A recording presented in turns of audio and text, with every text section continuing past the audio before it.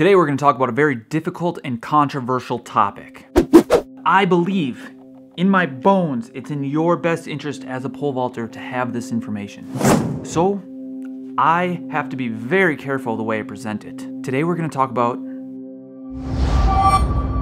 butt plug safety. Welcome to the Pole Vault Vlog. My name is Shawn Francis, and here on this channel we talk everything pole vault. This video is brought to you by me because I don't have any sponsors for this channel. Head over to team-hoot.com and pick up the pole vault toolbox. We also have pole vault training plans and shirts and and all sorts of stuff. Go there and help support the channel. Without further ado, butt plug safety. Now the easiest thing you can do is check your butt plug. Over time as they slide into the box or slide over the track, they wear out on one side. It's good practice to twist and rotate your butt plug periodically so they last a little bit longer. But the only way to know if you need to twist and rotate it is to check your butt plug. Now, if it's old and worn out enough, you can literally get holes in it. And if there's holes in the plug, it can damage your poles. And if your pole is damaged, it can create an unsafe situation for you as a pole vaulter. Check your butt plug. Now, the size is very important to get a nice, snug fit. All plugs have a little size number inside to help you fit the right one to the right pole. It's usually in, it's usually inside, like right, right here. The bigger the number on the plug, the smaller diameter pole, and vice versa.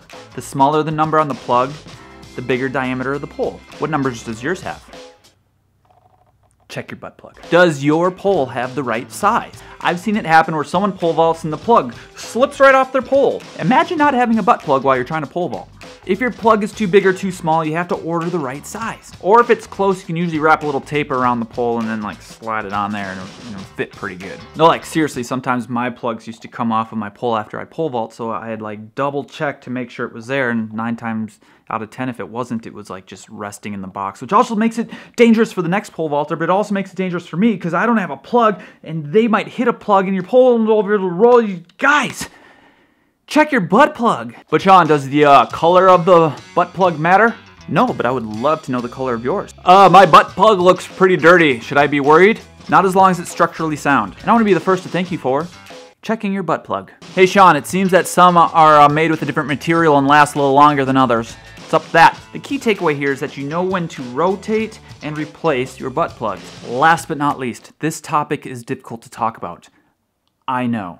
That's why it's important for you to be brave and to speak up about butt plug safety. Remind your teammates to check their butt plugs, your coach to check their butt plug, your competitors, even though they're your competitors, have them check their butt plugs.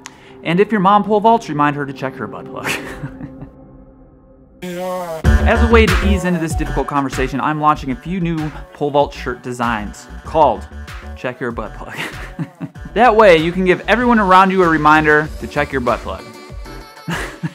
so head over to team-hoot.com. Pre-orders for all the shirts ends on November 19th, which is coming up here pretty quick.